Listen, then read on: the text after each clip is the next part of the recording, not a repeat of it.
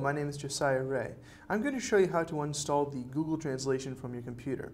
And if you've installed the Google toolbar um, accidentally or on purpose inside of Internet Explorer, it's going to begin to automatically translate pages for you.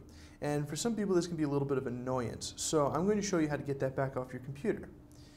First, you need to go to the Start button and click on Control Panel.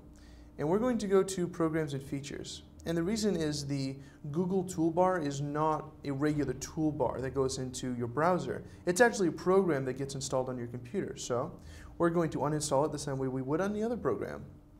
Scroll down a little bit till you see Google. And there's the Google toolbar for Internet Explorer, so we're going to click on that and click uninstall.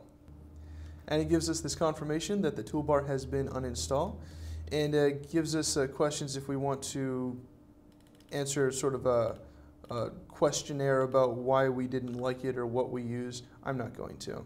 And uh, Internet Explorer is just giving me an update about my add-ons. I'm going to close that for now. So there we go. We're pretty much totally done. And the Internet Explorer version of the Chrome toolbar has been completely removed from your computer. I hope you've enjoyed this short video. I'm Josiah Rea.